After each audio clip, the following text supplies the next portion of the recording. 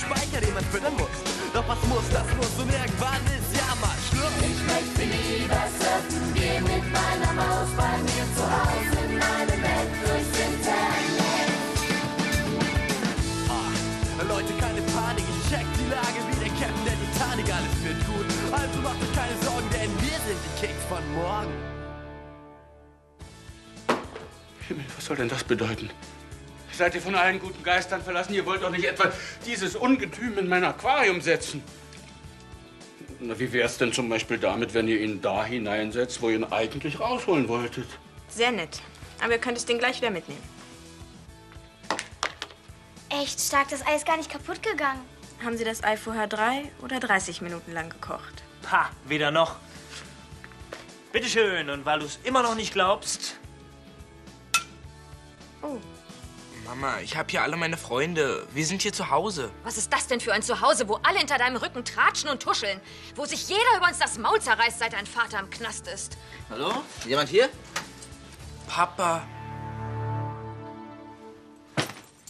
Atze, jetzt guck doch nicht so. Ich bin doch kein Gespenst. Aber was machst du denn hier? Keine Angst. Ich bin hier ausgebrochen. Junge, meine Unschuld ist erwiesen. Ja. Ich bin aus der Untersuchungshaft entlassen worden. Ganz regulär. Und endlich wieder zu Hause. Ja. Echt? Obwohl ich gesagt habe, dass wir gar nicht zusammen waren? Komm. Ist schon okay. Im Gegenteil. Es war falsch von mir, zuzulassen, dass du mir ein Alibi gibst. Tut mir leid, Atze. Aber wieso ist denn jetzt plötzlich Ihre Unschuld bewiesen, wenn Sie kein Alibi haben und Ihre Fingerabdrücke auf den Benzinkanistern sind? Deine Freundin Trautenbraten wohl nicht so ganz, ne? Nein, so habe ich das jetzt nicht gemeint. Nee, nee, nee, es ist schon okay. Ach ja, und wieso glaubt ihr die Polizei auf einmal? Also, die haben. Naja, sie haben den wirklichen Täter gefasst. Die Wahrheit, die setzt sie halt auch immer durch. Ja. Da wird Mama aber Augen machen, wenn sie nach Hause kommt. Und einige andere auch. Das Förderausschussverfahren ist abgeschlossen. Die Gutachter haben Philipp eine überdurchschnittliche Intelligenz bescheinigt und befürworten einen Schulwechsel. Herr Schwers, ich weiß, dass Sie und Ihre Frau Zweifel hatten, ob Sie diesem Schulwechsel zustimmen sollten. Aber ich weiß auch, dass Sie richtig gehandelt haben. Stimmt's, Philipp? Klaro. Dann darf ich dich also jetzt ganz offiziell als neuen Schüler auf Schloss Einstein begrüßen. Herzlich willkommen, Philipp. Danke, Herr Dr. Stolberg. Tja, was soll ich sagen? Also, viel Glück und mach uns keine Schande. Hm? Nein, Papst. Welcher Witzbold war das denn? Oh Mist, Salz verschütten, das bringt tierisch Unglück. Hat es schon. Das Ei kann ich vergessen. Nein, im Ernst. Bist du etwa abergläubisch? So nach dem Motto Spinner am Morgen Kummer und Sorgen. Ein bisschen bin ich es ja auch. Auf der Bühne sind so ziemlich alle abergläubisch. Bin bei einem Auftritt mal querlich den Ballettsaal geflogen. Vor allen Zuschauern total peinlich, oder? Na klar. Und was hat das jetzt mit Aberglaube zu tun? Na, jemand hat mir toi toi toi über die Schulter gespuckt und ich habe Danke gesagt. Ach, darf man das nicht? Auf gar keinen Fall. Das bringt tierisch Unglück. Sonst geht auf jeden Fall was schief. Quatsch, du warst einfach nur aufgeregt oder hattest nicht genug geprobt? Wisst ihr eigentlich, warum sich Leute Hals- und Beinbruch wünschen? Aus Bösartigkeit? Nee, das hat mir ein Schauspieler erklärt. Dann sag schon. Wenn dir jemand Hals- und Beinbruch wünscht, dann denken die bösen Geister, der Spruch wäre ernst gemeint. Und so brauchen sie sich nicht um dich zu kümmern. Ein Spruch gegen Gespenster also. Ach was, wir leben doch nicht im Mittelalter. Und böse Geister, die gibt es nicht. Ja, das war ganz schön hart. Aber weißt du, wenn du mal ein paar Tage in so einer Gefängniszelle gesessen hast, dann begreifst du, was wirklich wichtig ist und was nicht. Naja, zum Beispiel hätte ich mich ein bisschen mehr um dich kümmern müssen. Ne? Du bist mein Lieblingssohn. Kein Wunder, du hast ja auch nur einen. Ach, ja. Du, das ist doch der Werner. Mhm. Aha, da staunt aber einer, oder?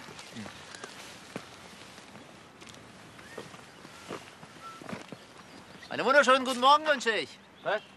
Ah. Ah. Ja. Tag. Tag. Und vielen Dank, dass Sie in der letzten Woche so vorbildlich zu meiner Frau gehalten haben. Ist sehr beeindruckend, oder? Mhm. Ah, Ja. nichts für ungut, ja? Ah. Okay. Tschüss. Ciao. Falsche Runde, oder?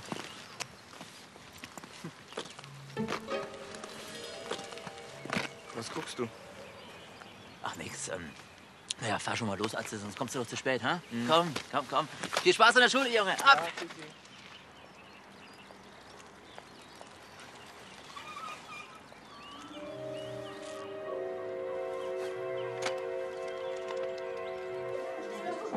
kannst nicht beweisen, ob das Quatsch ist oder nicht. Natürlich geht das.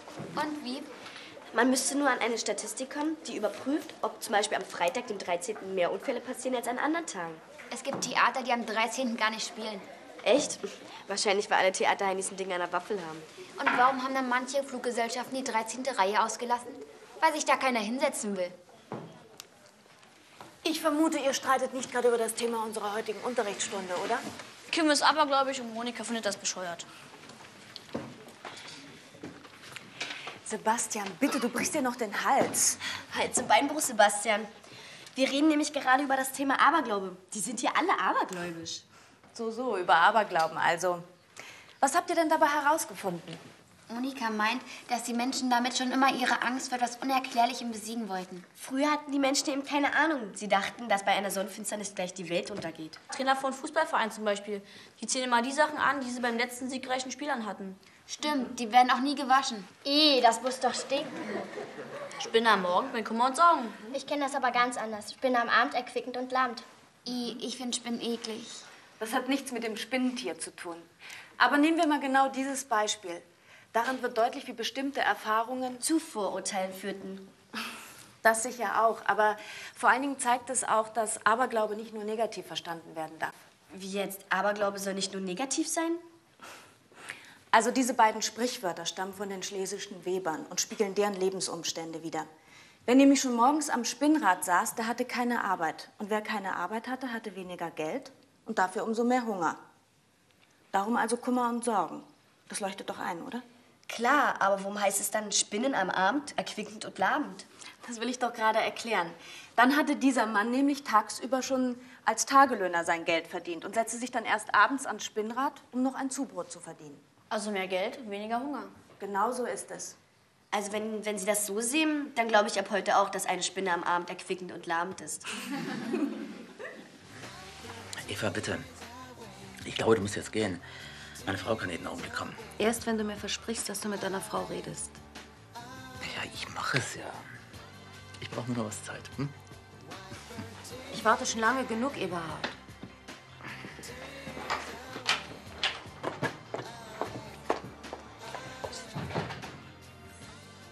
Hallo, Karin. Hallo? Äh, Karin, das ist äh, Frau Schwarz. Sie ist, ähm, ja, sie ist geschäftlich. Äh, Sie berät mich wegen der Versicherung und die ganzen Rücklagenlassung. Hör auf. Ich. Ich bin Eberhards Freundin. Oder Geliebte, wenn Sie es so nennen wollen. Und ich habe schon lange von diesem Versteckspiel genug. Wissen Sie, warum Eberhard überhaupt aus der Untersuchungshaft entlassen worden ist? Er war zur Tatzeit nämlich bei mir. Und das habe ich der Polizei auch gesagt. Nun gib es doch endlich zu. Eberhard. Ja, stimmt. Hey, Atze, warte doch bitte. Als Ihr Mann damals weg war, tagelang, da war er auch bei mir. So lange geht das also schon. Seit über einem halben Jahr. Es tut mir leid, dass Sie es so erfahren müssen. Verlassen Sie auf der Stelle meine Wohnung.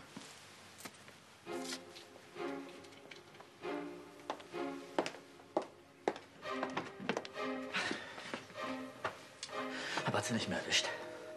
Wenn du bis heute Abend nicht bei mir bist, dann brauchst du dich nie wieder blicken zu lassen.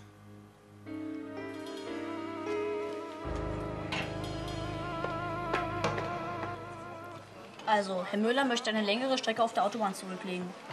Das Tempo ist nahezu gleichbleibend. 90 km/h. Die Strecke hat eine Steigung von 5%. Wie ist der Ort, wo Herr Müller hin will? Wie viel benötigt er bei 20 Minuten? Wie viele Minuten benötigt er zur 45 Kilometer entfernten Raststätte? Also Moment mal, ich gebe ein. Wie schnell fuhr der? 90 Sachen. Also 90 Kilometer mh, durch 5 und dann durch 20 mal 60. oder? Bist du dir sicher? Die Steigung hat nichts mit der Lösung zu tun. 90 durch 60 mal 20 gleich 30 Kilometer. Das wussten wir doch. Also ich habe nur mal Spaß damit gerechnet. Ach so. Das stimmt echt. Das mit den 5% war eine Falle. Also ich hätte das nicht gewusst. Hm, Ja, ja, klar. Also kommen wir zur Raststätte. Also, wenn er in 20 Minuten 30 Kilometer schafft, äh, wie lange braucht er denn zur Raststätte? 60 bis 90 erstmal, oder? Und was ist denn mit den 30 Kilometern? Euer armer Herr Müller kommt wahrscheinlich nie bei der Raststätte an. 45 durch 60 mal 90. Er braucht also 30 Minuten, bis er endlich eine Pinkelpause machen kann. Was ist das überhaupt für ein Steinzeitteil? Dieses Steinzeitteil ist ein Abakus und damit rechne ich mindestens genauso schnell wie du mit deiner Hightech-Maschine. Mit diesem Spielzeug? Das glaubst du ja wohl selber nicht. Wir können es ja mal drauf ankommen lassen. Du meinst eine Wette, ja? Zum Beispiel. Sagen wir, in 20 Sekunden löse ich jede Aufgabe. Um was wetten wir? Um den Mensadienst. Der Verlierer übernimmt eine Woche Mensadienst vom Gewinner. Okay, einverstanden. Und wer stellt die Aufgaben? Du meinetwegen. Hast du keine Angst, dass ich parteiisch sein könnte? Eine Lösung stimmt oder sie stimmt nicht. Du stellst mir eine Aufgabe und ich muss in 20 Sekunden die Lösung haben. Also gut, treffen wir uns heute Nachmittag.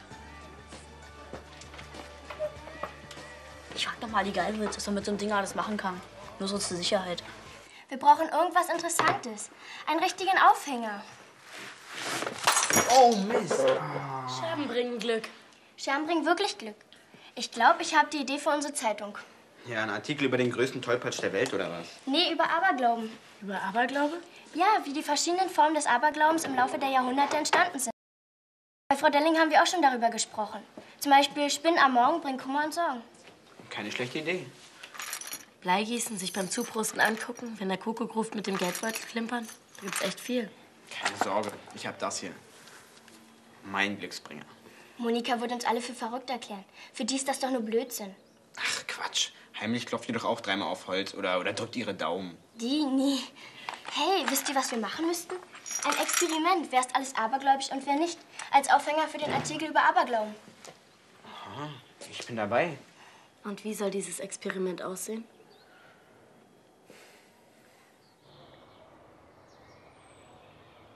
Das muss man sich mal vorstellen. Der hatte die ganze Zeit so eine, so eine Tussi. Kein Wunder, dass er nicht sagen konnte, wo er vor dem Brand war. Da hat er wahrscheinlich gerade mit der rumgemacht. Und was ist mit dem angeblich wahren Täter, den die Polizei verhaftet hat? Keine Ahnung, der denkt sich doch jeden Tag was Neues aus. Wahrscheinlich war das auch nur gelogen. Der lügt doch nur. Du glaubst, er war gar nicht bei ihr? Was weiß ich. Hm, aber wieso hat er denn nicht direkt gesagt, dass er bei ihr war? Ich meine, er hätte sie ja nicht gleich als seine Freundin vorstellen müssen. Mich würde nicht wundern, wenn er den Schrottplatz doch angesteckt hat. Aber das wäre doch ziemlich dämlich von ihm, sich ein Alibi zu besorgen, mit dem er sich und seine Freundin verrät. Mir ist mittlerweile scheißegal, was stimmt und was nicht. Sollen sie ihn doch wieder in den Knast stecken, dieses Arschloch. Also, wie können wir Schüler und Lehrer testen, ob sie abergläubisch sind oder nicht? Also ich fand meine Idee mit dem Glückspfennig nicht schlecht. Du weißt doch nicht, warum dich einer danach blickt. Kann ja auch einfach nur Geiz sein. Entschuldigung? Glück kann man immer gebrauchen. Lass mal gut sein. Daran habe ich mich gewöhnt. Du bist schon der Fünfte, der mich heute anpackt. Also ich komme dann morgen, so gegen Mittag. Ja, sehr gut. Warum soll das eigentlich Glück bringen, wenn man einen Schornsteinfeger anfasst? Anfassen alleine hilft nicht. Da muss schon richtig Ruß am Finger sein. Dieser Ruß, dachte man früher, hilft gegen Hexen, Geister und gegen den bösen Blick. Es gibt auch heute noch Zeitgenossen, die nicht frei von diesem Aberglauben sind. Naja, das kann ja nicht schaden, nicht? Hey, das wär's doch. Hier, was wäre was? Und Sie kommen wirklich morgen noch mal vorbei? Können Sie uns vielleicht einen kleinen Gefallen tun? Um was geht's denn? Wir wollen für die Schülerzeitung einen Artikel schreiben über Aberglaube. Und da würden wir gern mit Ihrer Hilfe ein kleines Experiment machen. Das darf aber keiner wissen. Verstehe. Ihr wollt mir den schwarzen Peter zuschieben? Einverstanden. Und was kann ich für euch tun?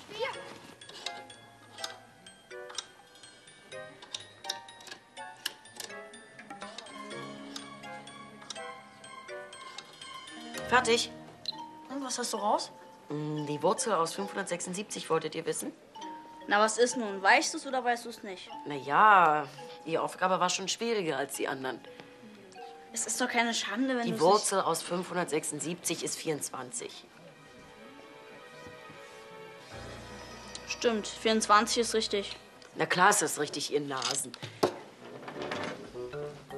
So, du übernimmst dann also meinen Mensadienst für eine Woche. Wir fordern Revanche. Wir setzen den Mensadienst auf vier Wochen. Vier Wochen? Bitte, mir soll's recht sein. Die nächste Aufgabe? 138 zum Quadrat durch 5.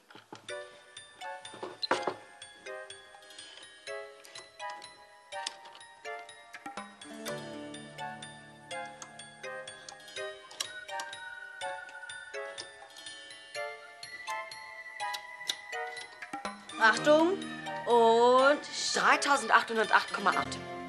Das gibt's doch nicht. Wie kann man mit dem Schrott her so schnell rechnen? Stimmt auch wieder. Ah, so eine Scheiße. Aber du hilfst mir beim Mensa-Dienst. Ja, ja, bleib mal ganz ruhig. Tja, war nett mit euch Jungs. Und viel Spaß noch beim Abholen. Halt, warte. Gib uns noch eine Chance. Eine allerletzte Aufgabe. Ist das okay? Spinnst du? Wenn du diese Aufgabe in 20 Sekunden löst, machen wir die obendrein vier Wochen Hofdienst. Wenn du sie nicht schaffst, musst du alles alleine machen. Was sagst du?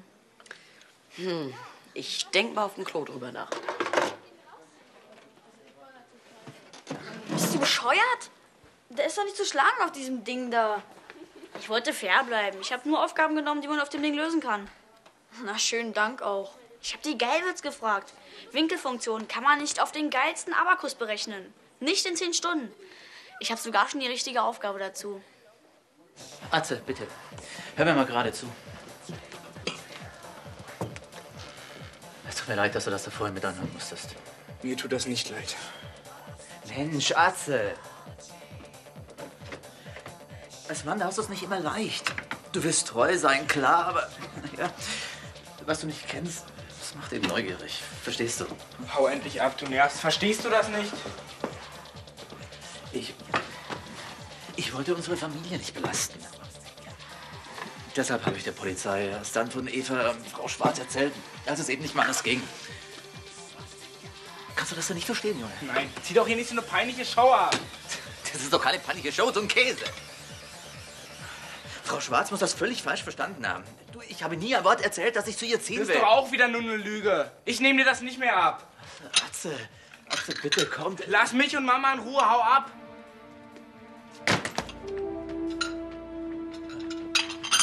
Was soll denn das, Karin? Nimm deine Sachen und geh!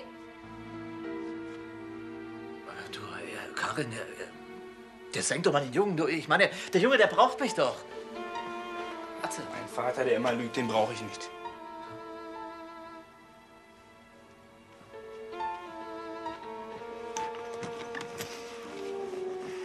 Atze, trotzdem, wenn du willst, ich bin immer für dich da. Das solltest du wissen. Okay.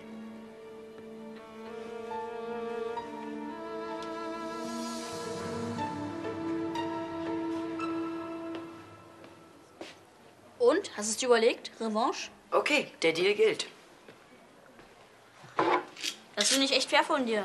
Ja, wirklich. Ach, hört auf zu quatschen. Also, wie ist die Aufgabe? Wir probieren es mit einer Winkelfunktion. Mit einer Winkelfunktion? Klar doch. Nehmen wir mal an, eine Eisenbahnstrecke soll einen Fluss überqueren. Mit einer Höhe von 13,80 Meter. Und der Steigungswinkel darf nicht höher als 1 Grad sein. Also, wie lang ist die Strecke? Ihr wollt jetzt von mir die Länge der Strecke hören. Ab jetzt.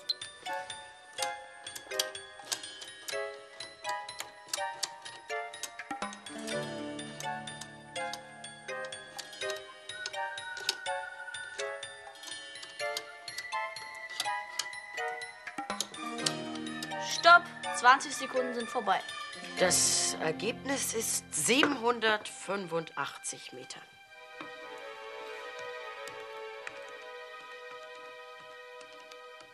Verdammt, das stimmt schon wieder. Ach, du bist doch echt der größte Blödmann, den es auf der Welt gibt, ey. Also, rechnen wir doch mal zusammen.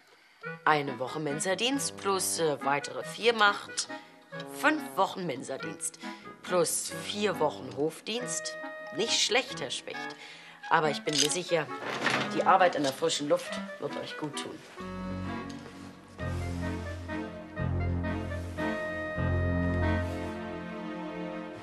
Ihr Ihr werdet's nicht glauben, Mann. Die haben eben einen festgenommen, der gerade eine Scheune anzünden wollte. Echt? Und? Was, mein Vater? Ach, Blödsinn. Die in der Eisdiele haben sogar gesagt, der hätte alles zugegeben. Der hat alles Mögliche abgefackelt, auch euren Schrottplatz. Also ist dein Vater wirklich unschuldig. Anscheinend kann mein Vater hell sehen. Der wusste nämlich schon gestern, dass man den wirklichen Täter gefasst hat. Was ist denn los? Freust du dich gar Deine Mutter hat gerade seinen Vater rausgeschmissen, weil der eine andere hat. Was? Ja, der ist für mich gestorben. Ich will ihn nie wiedersehen. Oh Mann. Ich weiß, wie man sich da fühlt. Ich hab's ja selbst miterlebt. Aber dein Vater hatte wenigstens nicht so eine Tussi. Ja, keine Ahnung. Ich fand's auf jeden Fall trotzdem ziemlich hart, als sie sich getrennt haben. Und dann sollte ich mich auch noch entscheiden zwischen meinem Vater und meiner Mutter. Also mir würde die Entscheidung leicht fallen. Wie ist es denn jetzt auf einmal alles rausgekommen? Wenn es diesen Pyroman nicht gegeben hätte, wahrscheinlich wäre es nie rausgekommen, dass sein Vater mit der anderen rummacht. Ja und? Du kannst es doch als Glück sehen. Jetzt seid ihr diesen chronischen Lügner endlich los. Ja, vielleicht kann man so sehen.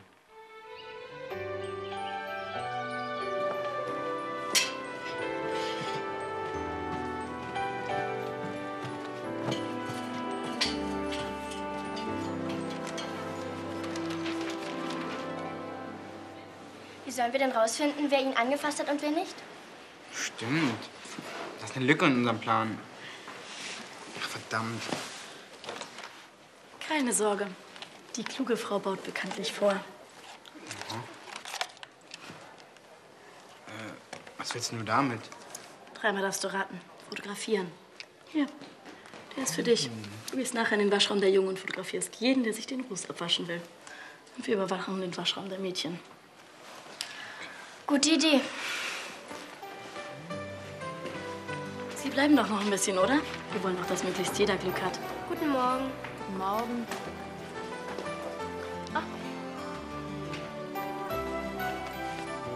Viel Glück. Schönen Tag noch. Morgen, Herr Dr. Guten Morgen, Frau Delling.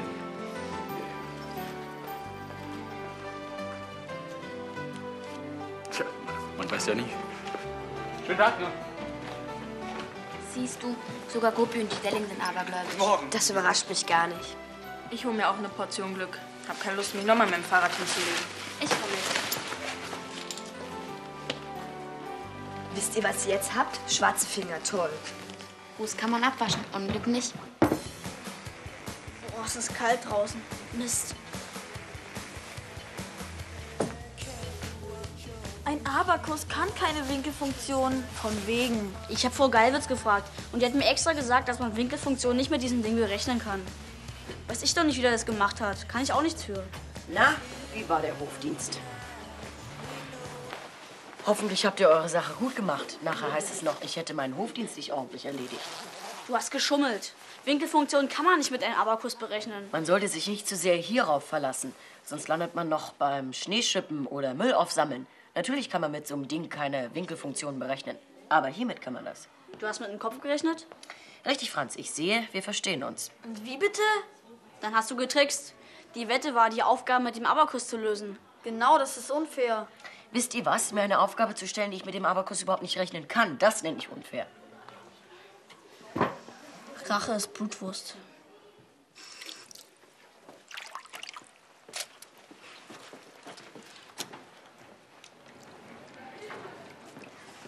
Überführt. Auch abergläubisch. Na und ich stehe dazu. Noch viel Glück beim Experiment. Danke. Hals- und Beinbruch. Toi, toi, toi. Dann, da darf man nichts sagen. Was ist denn das für ein Experiment? Rudi, Laura und Vera haben den Schornsteinfeger dazu gekriegt, sich extra lang im Feuer aufzuhalten. Wir wollen testen, wer das abergläubisch ist und wer nicht. Und wenn das so weitergeht, ist Monika am Ende die Einzige, die Limerick noch nicht angefasst hat. Willkommen im Klo.